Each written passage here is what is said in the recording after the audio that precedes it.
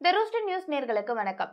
மத்திய அரசாங்கத்தின் இந்த ஒரு மூன்று வேளாண் சட்டங்கள் மூலமாக இடைத்தரகர்களை ஒழிக்கப் போவதாகவும் விவசாயிகளுக்கு இதன் மூலமாக வியாபாரிகள் கிட்ட நேரடியாக பேரம் பேசும் வாய்ப்பு கிடைக்கிறதாகவும் விவசாயிகள் இதன் வழியாக ஒரு நல்ல லாபத்தை சம்பாதிக்க முடியும் என்ற அடிப்படையில் தான் இந்த ஒரு சட்டங்களானது இயற்றப்பட்டிருப்பதாக தொடர்ந்து கூறிக்கொண்டிருக்கிறது இந்த மோடி அரசாங்கம்.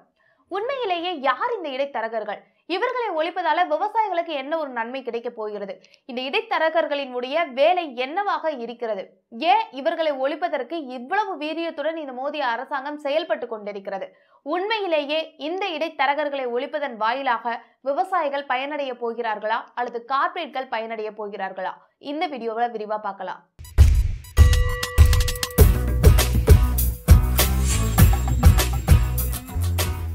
மத்திய அரசாங்கம் கொண்டு வந்துள்ள இந்த ஒரு மூன்று வேளாண் சட்டங்களுக்கு எதிராக நாடு முழுக்கவே போராட்டங்கள் வலுத்து வந்து கொண்டிருக்கும் இந்த நிலையில டெல்லியில டெல்லி சலோங்கிற ஒரு மாபெரும் போராட்டத்தை விவசாயிகள் அனைவரும் ஒன்றிணைந்து முப்பத்தி மூன்று நாட்களுக்கும் மேலாக தொடர்ந்து நடத்தி வந்து கொண்டிருக்கிறார்கள். இந்த ஒரு வேளாண் சட்டங்களுக்கு எதிராக விவசாயிகள் பல்வேறு கோரிக்கைகளையும் முன்வைத்திருந்தாங்க. இந்த குறைந்தபட்ச ஆதார விலையை சட்டமாக்க வேண்டும் அல்லது அந்த சட்டத்தை திரும்ப பெற வேண்டும் என்ற கோரிக்கையின் அடிப்படையில் தான் இந்த போராட்டங்கள் தொடர்ந்து நீடித்து வந்து கொண்டிருக்கிறது.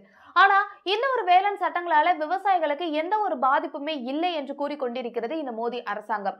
டெல்லியில விவசாயிகள் அனைவரும் ஒன்றிணைந்து போராட்டம் நடத்தினால் பதிலுக்கு நாங்களும் போராட்டம் நடத்துவோம் நாங்களும் பிரச்சாரம் செய்வோம் என்ற அடிப்படையில மாநிலம் வாரியாக சென்று இந்த மோடி அரசாங்கம் பல்வேறு பிரச்சாரங்களை மேற்கொண்டு வந்துட்டு இருக்கு அந்த பிரச்சாரங்கள்ல பாத்தீங்கன்னா ஒரு இரண்டு முக்கியமான காரணங்கள் இந்த வேளாண் சட்டத்தை பற்றி கூறப்பட்டு வந்துட்டு இருக்கு அதாவது இந்த ஒரு சட்டத்தின் வாயிலாக இடைத்தரகர்களை ஒழிக்க போவதாகவும் இடைத்தரகர்களை ஒழிப்பதால் விவசாயிகள் கண்டிப்பாக நேரடியாக வியாபாரிகள் கிட்ட பேரம் பேச முடியும். இதனால் அவங்க ஒரு நல்ல லாபத்தை சம்பாதிக்க முடியும் அப்படிங்கிற ஒரு பிரச்சாரத்தை முன்வைக்கிறாங்க.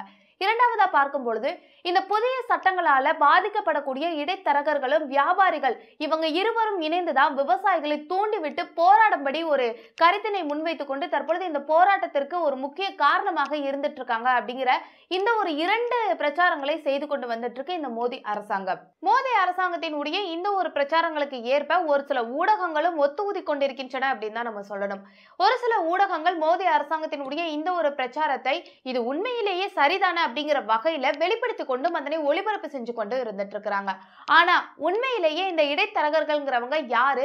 விவசாய வர்த்தகத்துல அவங்களுடைய அந்த பங்களிப்பு என்னவாக இருக்கிறது என்பதை புரிந்து கொள்வதற்கு முன்பாக உண்மையான நிலவரம் நம்மளுடைய நாட்டுல என்னவாக இருக்கிறது அப்படிங்கறத நம்ம முதல்ல பார்க்க வேண்டியதா இருக்கு. இடைத்தரகர்கள் அப்படின்னு நம்ம வெறும் ஒரு வார்த்தையில சொன்னாலும் கூட இவங்கள இரு பிரிவினர் வந்து இருக்கிறாங்க. அதுல முதல் வகையினர் அப்படின்னு நம்ம எடுத்துக்கொள்ளும் போது உற்பத்தியாளரான விவசாயிகளுக்கும் அதனை கொள்முதல் செய்யக்கூடிய வியாபாரிகளுக்கும் இடையில் இருக்கக்கூடிய ஒரு உறவு பாலமாக இருக்கிற நபர்கள் அப்படின்னு நம்ம சொல்லலாம். இதுதான் முதல் வகையினர். அதாவது இந்த இரண்டு தரப்பினருக்கும் இடையில் நடக்கக்கூடிய அந்த ஒரு பரிவர்த்தனையை சுமூகமாக முடித்து கொடுக்க உதவக்கூடிய ஒரு நபர் அப்படின்னு நம்ம சொல்லலாம். ஒரு வியாபாரி ஒரு புதிய இடத்திற்கு கொள்முதல் செய்ய போகும் பொழுது அங்குள்ள இடைத்தரகர்கள் இல்லாமல் ஒரு தொழிலில் அவங்களால இறங்கவே முடியாது. அதற்கு காரணம் என்னன்னா அவங்க உள்ளூரை சேர்ந்த ஒரு நபராக இருப்பாங்க. அந்த இடைத்தரகர்கள் வாயிலாக தான் விவசாயிகளினுடைய அந்த சமூக பின்னணி என்னவாக இருக்கிறது அவங்களுடைய பொருளாதார நிலைமை என்னவாக இருக்கிறது குடும்பத்தில் இருக்கக்கூடிய பிரச்சனைகள் என்னவாக இருக்கிறது தனிநபர் பலம் பலவீனம் என்று நன்கு அறிந்தவர்களாக இந்த இடைத்தரகர்கள் தான் இருப்பாங்க. ஏன்னா பரிவர்த்தையின் நம்பகத்தன்மைக்கு இந்த விவரங்கள் அனைத்துமே வியாபாரிகளுக்கு ரொம்பவே முக்கியமானதாக இருந்துட்டு இருக்கு அதோடு மட்டுமல்லாமல் உள்ளூர் நபர் என்ற ஒரு காரணத்தினால அங்க இருக்கக்கூடிய அந்த விவசாயிகளை எளிதாக அணுகுவதற்கும் இந்த இடைத்தரகர்கள் வியாபாரிகளுக்கு மிகவும் முக்கியமான நபராக கருதப்படுறாங்க. கொள்முதல் வியாபாரம்னு மட்டுமல்ல நில விற்பனை மற்றும் குத்தகை ஒத்திக்கு விடுவது நிலங்களை வைத்து வட்டிக்கு கடன் கொடுப்பது வாங்குவது போன்ற பல்வேறு விஷயங்களுக்கு இந்த இடைத்தரகர்கள் இல்லாம எதுவுமே நடக்கிறதே கிடையாது. ஒரு கொள்முதலோ அல்லது ஒரு வர்த்தகமோ எது நடந்து முடிந்தாலுமே அந்த பண மதிப்பிற்கு ஏற்ப ஒரு சதவீதமோ அல்லது ரெண்டு சதவிகிதமோ கமிஷன் இரு தரப்பினர்கிட்ட இருந்தும் இந்த இடைத்தரகர்களுக்கு கமிஷனாக கிடைக்கிறது. சில நேரங்களில் இந்த ஒரு வியாபாரத்தில் இந்த ஒரு வர்த்தகத்தில் பார்த்தீங்கன்னா பல மோசடிகள் நடக்கிறதையும் ஏற்கத்தான் வேண்டும் ரெண்டாவது பிரிவினர் பார்த்தீங்கன்னா காய்கறிகள் பழங்கள் பூ கிழங்குகள் போன்ற இந்த விளைபொருட்களை உள்ளூர் மற்றும் நகர கமிஷன் வண்டிகளில் விவசாயிகள் விற்பனை செய்வாங்க. அப்படி விற்பனை செய்யும் பொழுது இந்த கமிஷன் மண்டிகள் விவசாயிகள் கிட்ட இருந்து ஒரு பத்து பர்சன்டேஜ் கமிஷனை எடுத்துக்கிறாங்க. இது இல்லாமல் எழுத்துக்கூலி மகிமை போன்று ஒரு ரெண்டு பர்சன்டேஜ் பர்சன்டேஜை எக்ஸ்ட்ராவும் அவங்க எடுத்துக்கிறாங்க. இது எல்லாம் நடந்தது போக எடை மோசடி போன்ற பல்வேறு மோசடிகளும் நடைபெற்று கொண்டுதான் இருக்கிறது. இந்த கமிஷன் மண்டிகளை நடத்துவோருக்கும் இதற்கு முன்னதாக சொன்ன அந்த முதல் பிரிவினர் இடைத்தரகர்களுக்கும் இருவருக்கும் இடையில எந்த ஒரு வேறுபாடும் பெரிதாக இல்லைன்னு தான் சொல்லணும். இந்த முதல் வகை இடைத்தரகர்கள் பெரிதாக எந்த ஒரு பண முதலீடும் வந்து செய்வது கிடையாது. மக்களுடன் தனக்குள்ள அந்த நெருக்கத்தையும் தனிமனித நேர்மையும் மட்டும்தான் முதலீடாக அவங்க கொண்டிருக்கிறாங்க. ஆனா மண்டிகளை பொறுத்த வரைக்கும் அப்படி கிடையாது. பத்து பர்சன்டேஜ் கமிஷனோட அவங்க நிக்கிறதும் கிடையாது. இதையடுத்து விவசாயிகளுக்கு விதை உரம் மருந்து போன்ற இந்த இடுபொருட்களுக்கு பணமாகவோ அல்லது பொருளாகவோ கொடுப்பதன் வாயிலாக இந்த விளைபொருட்களை தன்னிடம்தான் விற்க வேண்டும் அப்படிங்கிற ஒரு கட்டளையை விவசாயிகளுக்கு வந்து கொடுக்குறாங்க. அதே போன்று இந்த புறம் பார்க்கும் பொழுது வியாபாரிகள் கிட்ட ரகசியமாக ஒரு பேரத்தை பேசிவிட்டு ஏலம் எடுக்காமலேயே வியாபாரிகளுக்கு சாதகமான ஒரு விலையை நிர்ணயித்து இதன் மூலமாக ஒரு கமிஷனை வந்து தனியாக எடுத்துக்கிறாங்க.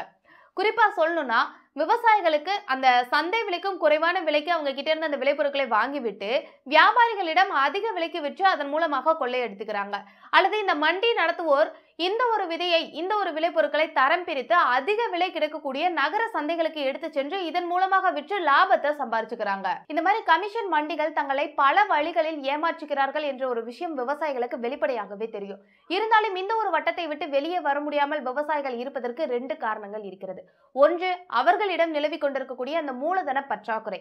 இரண்டாவது விஷயம் தங்களுடைய இந்த விளைபொருட்களை வேறு எங்கேயும் சென்று மொத்தமாக விற்பனை செய்வதற்கான வழிகள் விவசாயிகள் கிட்ட இதனால தான் தாங்கள் ஏமாற்றப்படுகிறோம் தங்களுடைய அந்த உழைப்பானது சுரண்டப்படுகிறது என்ற ஒரு விஷயம் தெரிந்தாலும் கூட அனைத்தையும் பொறுத்து கொண்டு இருந்துட்டு இருக்கிறாங்க விவசாயிகள். தங்களுடைய இந்த மூலதன பற்றாக்குறையை சிறு குறு விவசாயிகள் இரண்டு வழிகளில் ஈட்டிக் கொள்கிறார்கள். முதல் வழி ஏதாவது ஒரு வடிவத்தில் வட்டிக்கு கடன் வாங்குவது. இரண்டாவது வழி இந்த மண்டிகள் மூலமாக முன்மணமாக கடனை பெற்றுக்கொள்வது. இதன் வாயிலாக ஒரே ஒரு நன்மை விஷயம் என்னன்னு பார்க்கும் பொழுது இந்த மண்டிகள் வாயிலாக சிறு குறு விவசாயிகள் கடனை முன்பணமாக பெற்றுக்கொள்ளும் பொழுது அதற்கான வட்டிகள் கிடையவே கிடையாது. இதுதான் விவசாயிகள் இருக்கக்கூடிய ஒரே ஒரு நல்ல விஷயம் அப்படின்னு சொல்லலாம். இப்ப இருக்கக்கூடிய நடைமுறையில விவசாயிகளுக்கு வேற வழியும் கிடையாது. எழுபத்தி ஐந்து சதவிகித இந்த சிறு குறு விவசாயிகள் இந்த நடைமுறையை பின்பற்றி கொண்டிருக்கிறார்கள். நிலம் மட்டும்தான் உங்களுக்கு சொந்தம். அதுல விளையக்கூடிய அந்த விளைபொருட்கள் அனைத்துமே எங்களுக்கு சொந்தம். ஏன்னா அந்த நிலத்துல வேலை செய்யக்கூடிய அந்த கூலி ஆள்களுக்கான சம்பளத்துல இருந்து அவர்களின் பிள்ளைகளினுடைய அந்த படிப்பு செலவு மருத்துவ செலவு என்று அனைத்து பண செலவுகளையுமே நாங்கள் முன்பணமாக கொடுத்து விடுகிறோம் என்று ஒரு கமிஷன் மண்டிக்காரர் சொல்வதா அவ்வளவு எளிதில புறக்கணித்து விட முடியாத ஒரு உண்மை. இதை தவிர சீசன் காலங்களில் முட்டைக்கோஸ் காலிஃபிளவர் உருளைக்கிழங்கு வெங்காயம் போன்ற இந்த பணப்பயிர்களை அறுவடை செய்வதற்கு முன்பாகவே மொத்த விளைச்சலையும் நாங்களே கொள்முதல் செய்து கொள்கிறோம் என்ற அடிப்படையில் விவசாயிகள் கிட்ட ஒரு பெரிய தொகையை முன்பணமாக கொடுத்துவிட்டு இதனை உறுதிப்படுத்திக் கொள்ளக்கூடிய பெரிய வியாபாரிகளும் இருந்துகிட்டு தான் இருக்காங்க. இந்த மாதிரி ஊரக வர்த்தக வியாபாரிகள் ஒவ்வொருவரும் சுமார் ஐம்பதுல இருந்து நூறு ஏக்கர் வரையிலான இந்த விவசாயத்தை கட்டுப்படுத்தி கொண்டு வந்துட்டு இருக்கிறாங்க இதோடு மட்டும் இல்லாமல் ஆந்திரா கர்நாடகா கேரளா போன்ற இந்த பிற மாநிலங்கள் இருக்கக்கூடிய பெரிய பெரிய வியாபாரிகள் கிட்ட தொடர்புலையும் இருந்து வந்துட்டு இருக்கிறாங்க சந்தையில ஏதேனும் ஒரு விளைபொருளினுடைய விலையானது அதிகரிக்கும் பொழுது அதே விளைபொருள் பிற மாநிலங்கள்ல எங்க குறைவாக கிடைக்கிறதோ அந்த மாநிலத்திற்கு சென்று அந்த விளைபொருளை குறைவான விலைக்கு வாங்கி வந்து உள்ளூர் மண்டிகள்ல நிரப்பி விடுவார்கள். இந்த மாதிரி உள்ளூர் மண்டிகள்ல நேத்து ஐம்பது ரூபாய்க்கு விலைக்கு போய் கொண்டிருந்த அந்த கத்திரிக்காவை அடுத்த நாளே இருபது ரூபாய்க்கு வந்து விற்கும் போகும் அளவிற்கு ஒரு நிலைமையை அவங்க ஏற்படுத்தி விடுவாங்க. இதனால அவங்க முன்பணமாக கொடுத்த விவசாயிகள் கிட்ட மிகவும் அடிமாட்டு விலைக்கு கொள்முதல் செய்யும் அளவிற்கு ஒரு சூழலை அவங்களே செயற்கையாக ஏற்படுத்துறாங்க. இந்த மாதிரி தான் இன்றைய விவசாயத்திலும் விவசாயிகளினுடைய அந்த பொருளாதார வாழ்விலும் ஒரு அங்கமாக இந்த கமிஷன் வண்டிக்காரர்களும் இடைத்தரகர்களும் சிறு வியாபாரிகளும் இந்த வட்டிக்காரர்களும் வந்து பின்னி பிணைந்து கொண்டிருக்கிறார்கள். இது ஒரு நீண்ட காலமாக நீடித்து வந்து கொண்டிருக்கக்கூடிய ஒரு நடைமுறை தான் ஆனாலும் கூட இந்த சிறு விவசாயிகளுக்கு கிடைக்க வேண்டிய அந்த மானியங்கள் வங்கி கடன் போன்ற இந்த சிறு சிறு சலுகைகளை அரசாங்கம் கைவிட்டு விட்ட இந்த ஒரு சூழலில் இந்த ஒரு கூட்டு பிணைப்பு மட்டும்தான் இந்த சிறு விவசாயிகளை இன்றைய சூழலிலும் விவசாயத்துல தங்களை தக்க வைத்துக் கொள்வதற்கு ஒரு பெரும் உதவியாக இருந்துட்டு இருக்கு இந்த சிறு குறு விவசாயிகளிடம் யதார்த்தமாக நிலவும் பற்றாக்குறையான இந்த பொருளாதார வாழ்நிலையும் வறுமையும் தான் இவங்களை பேரம் பேசும் தகுதியவே இழக்கச் செய்கிறது. கமிஷன் மண்டி மற்றும் வியாபாரிகளிடம் தங்களுடைய அந்த வாழ்நாள் பலனை இழப்பதற்கான அடிப்படை காரணமும் இதுதான். சிறு குறு விவசாயிகள் மட்டுமல்ல இன்றைய நடுத்தர பணக்கார விவசாயிகளினுடைய நிலைமையும் கூட இதுவாக தான் இருந்துட்டு இருக்கு இந்த மாதிரி கமிஷன் வண்டிகள்ல வியாபாரிகள் கிட்ட வட்டிக்காரர்கள் கிட்ட சிக்கி கொண்டிருக்கக்கூடிய இந்த விவசாயிகளை மீட்டு எடுப்பதற்காக சுயசார்பாக விவசாயத்தை செய்வதற்காக எந்த ஒரு உருப்படியான வேலையையும் இந்த மத்திய மாநில அரசாங்கங்கள் இதுவரைக்கும் செய்ததே கிடையாது. அதற்கு மாறாக என்ன பண்ணியிருக்காங்கன்னா இருந்து கொண்டிருந்த அந்த கொஞ்சம் கொஞ்சம் அந்த சலுகைகளை அதாவது அரசாங்கத்தின் தரப்பில் இருந்து விவசாயிகளுக்கு கிடைக்கக்கூடிய அந்த மானியங்கள் போன்ற இந்த சிறு சிறு சலுகைகளை மொத்தமாக பறித்து கொண்டிருக்கக்கூடிய வேலையை தான் செய்து கொண்டிருக்கிறது இந்த மத்திய மாநில அரசாங்கம். ஆனால் தற்பொழுது விவசாயத்தையே மாற்றி அமைக்க போகிறோம் விவசாய துறையவே வளர்ச்சியடைய செய்ய போகிறோம் என்ற ஒரு பொய்யான செய்தியை பரப்பி கொண்டிருக்கிறது இந்த ஒரு ஊடகத்தின் வாயிலாக. இந்த ஒரு புதிய சட்டங்கள் மூலமாக இடைத்தரகர்களை ஒழித்துவிட போகிறோம். இதன் மூலமாக விவசாயிகள் வியாபாரிகள் கிட்ட பேரம் பேசுறதற்கான ஒரு வாய்ப்புகள் வந்து கிடைக்க போகிறது.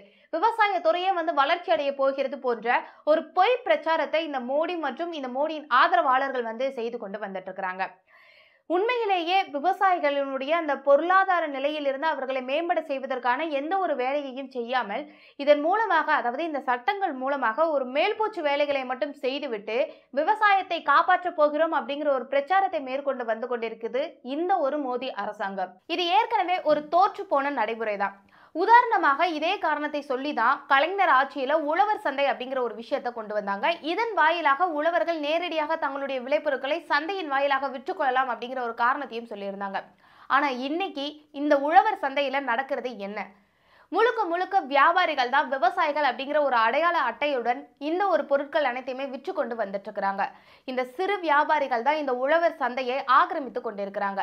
விவசாயிகள் வியாபாரிகளாக மாறும் அளவிற்கு அவங்களுடைய அந்த வாழ்நிலை இன்னும் முன்னேற்றம் அடையவில்லை அப்படிங்கிறது தான் இதன் மூலமாக தெரிய வரக்கூடிய ஒரு முக்கியமான விஷயமாக இருக்கிறது. பிரதமர் மோடி கூறுவது போல இந்த கமிஷன் மண்டிகள் அனைத்தையுமே ஒழித்து விட்டால் இந்த சிறு குறு விவசாயிகளினுடைய அந்த மூலதன பற்றாக்குறையை யார் நிரப்புவது? இது குறித்து எந்த ஒரு தகவலும் இந்த புதிய சட்டங்களில் குறிப்பிடப்படவே இல்லை. இதோடு மட்டுமில்லாமல் ஏற்கனவே இருந்து கொண்டிருந்த இந்த விவசாயிகளினுடைய அந்த மானியங்கள் இந்த வங்கி கடன்கள் போன்ற சிறு சிறு சலுகைகளை கூட இந்த அரசாங்கம் கை கழுவி விட்டது. இந்த மாதிரியான ஒரு சூழ்நிலையில இந்த சிறு குறு விவசாயிகள் விவசாயத்தை எப்படி தொடர்வாங்க? இந்த விவசாயிகள் விவசாயத்துல இருந்தும் இந்த நிலத்தில இருந்தும் வெளியேறுவது தான் இவங்கள் முன்னாளில் இருக்கக்கூடிய ஒரு வழியாக இருக்க முடியும். அப்படியே வெளியேறினாங்கன்னா அவங்க எங்க போவாங்க? இந்த ஒரு விவசாயத்தில் இருந்து விலகி கொண்டு ஒவ்வொரு நகரத்திற்கும் கூட்டம் கூட்டமாக சென்று கொண்டிருக்கக்கூடிய புலம்பெயர் தொழிலாளர்கள்ல ஒரு கூட்டமாக இவங்களும் இருந்துட்டு இருப்பாங்க இந்த நாட்டில் இதை தவிர வேற எந்த வழியுமே கிடையாது. கடந்த காலத்துல பார்த்தீங்கன்னா வியாபாரிகள் கூட்டணி ஒன்றிணைந்து இந்த விலையை தீர்மானிக்கிறார்கள். விவசாயிகளை ஏமாற்றுகிறார்கள். இதனால விவசாயிகளுக்கு ஒரு நியாயமான விலையே கிடைக்கிறது இல்லைன்னு போன்ற இந்த காரணங்களை சொல்லி கொண்டுதான் அரசு கொள்முதல் வேளாண் விற்பனை மையம் ஒழுங்குமுறை விற்பனை கூடம் வேளாண் கூட்டுறவு வங்கி மற்றும் உழவர் சந்தை போன்ற அடுக்கடுக்கான திட்டங்களை அமல்படுத்தியது இந்த அரசு. ஆனால் தற்பொழுது சொல்லக்கூடிய காரணம் என்னன்னா இந்த ஒரு சட்டங்கள் மூலமாக வியாபாரிகள் கிட்ட விவசாயிகள் நேரடியாகவே பேரம் பேசி தங்களுடைய விலையை வந்து நிர்ணயித்துக் கொள்ள முடியும். இதன் மூலமாக விவசாயிகள் லாபத்தை சம்பாதித்துக் கொள்ள முடியும் அப்படிங்கிற காரணங்களை சொல்லிக்கொண்டு மீண்டும் ஆயிரத்தி தொள்ளாயிரத்தி அறுபது போன்ற இந்த முந்தைய காலத்திற்கு விவசாயிகளை தள்ளிவிடுகிறார் பிரதமர் மோடி. அதே போன்று இந்த இடத்துல பிரதமர் மோடியும் அவருடைய அந்த ஆதரவாளர்களும் குறிப்பிடுவது ஏற்கனவே விவசாயிகளுடன் தொடர்பில் இருக்கக்கூடிய அந்த வியாபாரிகள் கிடையாது. இந்த முறை அதற்கும் சற்று மேலே சென்று ரிலையன்ஸ் அதானி அமேசான் போன்ற இந்த பெரிய பெரிய கார்ப்பரேட் நிறுவனங்களை தான் குறிப்பிட்டு கொண்டு வந்துட்டு இருக்கிறாங்க ஆனா இவங்க கிட்ட பேரம் பேசுவதற்கெல்லாம் எந்த ஒரு வாய்ப்புமே இருக்காது. ஏன்னா அந்த விளைபொருட்கள் அந்த கொள்முதலை அவங்க தான் நிர்ணயிப்பாங்க. அந்த கொள்முதலுக்கான விலையையும் இவங்களே தான் நிர்ணயிக்க போறாங்க. இது இல்லாம தரமற்றவை என்று இவங்க அனைவரும் ஒதுக்கிவிடக்கூடிய அந்த மிச்சம் இருக்கக்கூடிய கழிவுகளை உள்ளூர் சந்தைகளில் விற்று இவங்க வேணா ஒரு சில லாபத்தை ஏற்றுக்கொள்ள முடியும். ஆனால் அது எல்லா நேரங்களிலும் கிடையாது. இது போன்று இந்த உள்ளூர் வியாபாரிகள் அனைவரையும் ஒதுக்கிவிட்டு பெரிய பெரிய கார்பரேட் வியாபாரிகளை இந்த ஒரு வியாபாரத்திற்குள் கொண்டு வருவதுதான் இந்த புதிய வேளாண் சட்டங்கள். அன்றைய உள்ளூர் வியாபாரிகளின் கொள்ளையிலிருந்து விவசாயிகளையும் நுகர்வோராகிய பொதுமக்களையும் பாதுகாக்க பல்வேறு சட்டங்களையும் அரசு நிறுவனங்களையும் உருவாக்குனாங்க. நில உச்சவரம்பு சட்டம் அத்தியாவசிய பொருட்கள் தடை சட்டம் அரசின் நேரடி கொள்முதல் குறைந்தபட்ச ஆதரவு விலை இந்திய உணவுக் கழகம் கொள்முதல் நிலையங்கள் சேமிப்பு கிடங்குகள் மாநில மத்திய மாவட்ட கூட்டுறவு வங்கிகள் போன்றவற்றை மேற்கண்ட மக்கள் நலனை அடிப்படையாக கொண்டு நிறைவேற்றப்பட்டது. இதையடுத்து ஆயிரத்தி தொள்ளாயிரத்தி தொண்ணூத்தி ஐந்துக்கு பிறகு பார்த்தீங்கன்னா சர்வதேச கார்ப்பரேட் முதலாளிகளின் அதிகார மையமான உலக வர்த்தக கழகம் நிறுவப்பட்டு அதுல இந்திய அரசு தன்னை இணைத்தும் கொண்டது. அதன் பிறகுதான் நாட்டில் பின்பற்றப்பட்டு கொண்டு வந்திருந்த அந்த மக்கள் நல அரசு அப்படிங்கிற பெயர் அளவிலான நோக்கத்தை கூட மத்திய அரசு கைவிட தொடங்கியது. இதன் பிறகு கார்ப்பரேட் முதலாளிகளின் உடைய நல அரசாக இந்த ஒரு மத்திய அரசு செயல்பட ஆரம்பித்தது புதிய பரிணாமமும் எடுத்தது. அந்த வழியை பின்பற்றி கொண்டுதான் இந்த இந்திய வேளாண் துறையை கார்ப்பரேட் நலனுக்கு ஏற்ப மாற்றி அமைக்கும் ஒரு வேலையாக தான் தற்பொழுது இந்த புதிய வேளாண் சட்டங்களை அமல்படுத்தியுள்ளது இந்த மத்திய மோடி அரசாங்கம். இந்த கார்ப்பரேட் நிறுவனங்கள்லாம் இந்திய விவசாயத்துல தன்னுடைய காலை பதிப்பதற்கு இந்த கமிஷன் மண்டிகள் சிறு வியாபாரிகள் இடைத்தரகர்கள் அனைவரும் பெரும் தடையாக இருக்கிறார்கள். அதனால தான் இதை ஒழிப்பதற்கான இவ்வளவு ஒரு அவசர சட்டத்தை இந்த மோடி அரசாங்கம் கொண்டு வந்திருக்கு. ஏன்னா இது மக்கள் அரசு கிடையாது இது கார்ப்பரேட் அரசு. அதோடு மட்டும் இல்லாமல் இந்த ஒரு கார்ப்பரேட் நிறுவனங்கள் உள்ளே வருவதற்கு இவங்க சொல்லக்கூடிய முக்கிய காரணம் என்னன்னா அமெரிக்கா போன்ற பெருநாடுகளில் இந்த விவசாயத்தை மிகவும் அழகாக வந்து செய்து கொண்டு வந்துட்டு இருக்கிறாங்க நிறைய நவீன தொழில்நுட்பங்களை பயன்படுத்தி கொண்டு வந்துட்டு இருக்கிறாங்க அதை நம்மளுடைய இந்த இந்திய விவசாயத்திலையும் வந்து நம்ம ஈடுபடுத்த வேண்டும் என்ற ஒரு காரணத்திற்காக தற்பொழுது இந்த கார்ப்பரேட் நிறுவனங்களை வந்து நம்ம விவசாயத்தில் ஈடுபடுத்தலாம்ங்கிற ஒரு வழியை ஏற்படுத்துவதற்கு தான் இந்த ஒரு வேளாண் சட்டங்கள். ஆனால் விவசாயிகளும் சரி பொதுமக்களும் சரி முன்வைக்கக்கூடிய கேள்வி என்னன்னா அந்த நவீன தொழில்நுட்பங்களை ஏன் அரசாங்கம் ஈடுபடுத்தக்கூடாது? ஏன் அதை அரசாங்கம் வந்து கொள்முதல் செய்து அதை விவசாயிகளுக்காக விவசாயத்திற்காக அதை கொடுக்கக்கூடாது அப்படிங்கிற ஒரு கேள்வியை தான் எழுப்புகிறார்கள். ஏன் கார்ப்பரேட் நிறுவனங்களால் மட்டும்தான் இந்த ஒரு நவீன தொழில்நுட்பங்களை விவசாயத்திற்குள்ளே ஈடுபடுத்த முடியுமா? அப்படிங்கிற ஒரு கேள்வி முன்வைக்கப்படுகிறது. இந்த ஒரு வேளாண் சட்டங்கள் மூலமாக இடைத்தரகர்களை ஒழிக்க போகிறோம் அப்படிங்கிற ஒரு காரணம் மட்டும் அடங்காது. இதில் இன்னொரு முக்கியமான மறைமுகமான காரணமும் கூட அமைந்து கொண்டு வந்துட்டு இருக்கு இந்த விவசாயத்தில் பார்த்தீங்கன்னா எண்பத்தி நான்கு சதவிகித சிறு குறு விவசாயிகள் வந்து இருந்துட்டு இருக்காங்க இந்த எண்பத்தி நான்கு சதவிகித சிறு குறு விவசாயிகளையும் விவசாயத்தில இருந்தே வெளியேற்ற வேண்டும் என்ற ஒரு எண்ணத்துல தான் கார்ப்பரேட் முதலாளிகள்லாம் இருந்துட்டு இருக்காங்க இதுதான் கார்ப்பரேட் முதலாளிகளினுடைய ஒரு மறைமுக ஆசையாகவும் இருந்துட்டு இருக்கு இந்த ஆசையை நிறைவேற்றுவதற்கு தான் மோடி அரசாங்கம் இந்த அளவிற்கு ஒரு பிரச்சனையை சமாளித்து கொண்டு வந்துட்டு இருக்காங்க இப்ப இருக்க ஒரு சூழல்ல நம்ம பேசப்பட வேண்டிய மிகவும் முக்கியமான ஒரு சமூக பிரச்சனை இது ஏன்னா இந்த எண்பத்தி நான்கு சதவிகித சிறு குறு விவசாயிகள் தான் பொதுமக்களுக்கு தேவையான அந்த உணவு தானியங்களையும் எண்ணெய் வித்துக்களையும் காய்கறிகளையும் பயிரிட்டு நமக்கு கொடுத்துட்டு இருக்காங்க. ஆனா இந்த நிலத்தில் இருந்து வெளியேற்றப்படும் எண்பத்தி நான்கு சதவிகித சிறு குறு விவசாயிகளினுடைய வேலை வாய்ப்பு குறித்து இந்த மோடி அரசாங்கம் கிட்ட எந்த ஒரு பதிலும் கிடையாது எந்த ஒரு அரசு திட்டமும் கிடையாது. தொடர்ந்து இரண்டு கோடி வேலை வாய்ப்பினை உருவாக்குவோம் என்று மோடி அரசாங்கம் பிரச்சாரம் செய்து கொண்டு வந்துட்டு இருந்தாங்க. அவங்க செய்து கொண்டிருந்த தொடர் பொய் பிரச்சாரத்துல இதுவும் ஒன்றாக தான் கருதப்பட்டு வந்துட்டு இருக்கு. கொரோனா போன்ற இந்த பெருந்தொற்று காலகட்டத்தில் புலம்பெயர் தொழிலாளர்கள் அனைவரும் தங்களுடைய சொந்த மாநிலங்களுக்கு தொடர்ச்சியாக சென்று கொண்டுட்டு இருந்தாங்க இந்த கொரோனா தொற்று அப்படிங்கிற ஒரு விஷயம் மட்டும் இல்லைன்னா இந்த புலம்பெயர் தொழிலாளர்கள் வந்து எப்படி உருவானாங்க அவங்க ஏன் இந்த மாதிரி போறாங்கங்கிற ஒரு விஷயமே வெளியே தெரியாம வந்துட்டு இருக்கோம் அந்த மாதிரி தான் மீண்டும் ஒரு விஷயமும் இப்போ ஏற்படுத்த போகுது இந்த மோடி அரசாங்கம். கார்பரேட்களின் மகிழ்ச்சி தான் இந்த நாட்டின் வளர்ச்சி என்பதுதான் இந்த மோடி அரசாங்கத்தினுடைய கொள்கையாக இருந்துட்டு இருக்கு ஏன்னா டெல்லியில அத்தனை நாட்களாக கடும் குளிரையும் பொருட்படுத்தாம இத்தனை நாட்களாக போராடி கொண்டிருக்கும் விவசாயிகளினுடைய இந்த கோரிக்கைகளும் கதறல்களும் காதில் கேட்காமல் அமைதி காத்து கொண்டு வந்துட்டு இருக்கு இந்த மோடி அரசாங்கம். ஆனா ஒவ்வொரு மாநிலமாக சென்று இந்த வேளாண் சட்டங்கள் குறித்த பிரச்சாரங்களை மட்டும் செஞ்சு வந்துட்டு இருக்கிறாங்க. இந்த புதிய சட்டங்களை ஒருபோதும் நாங்கள் வாபஸ் செய்ய போவதில்லை. இந்த சட்ட திருத்தங்களை ஒரு சில சீர்திருத்தங்களை வேணா செய்கிறோம் என்று இவ்வளவு கராராக இந்த மோடி அரசாங்கம் பேசுவதற்கு இதுதான் காரணம். மேலும் இது போன்ற செய்திகளுக்கு த நியூஸ் சேனலை சப்ஸ்கிரைப் பண்ணவும் நன்றி. வணக்கம்.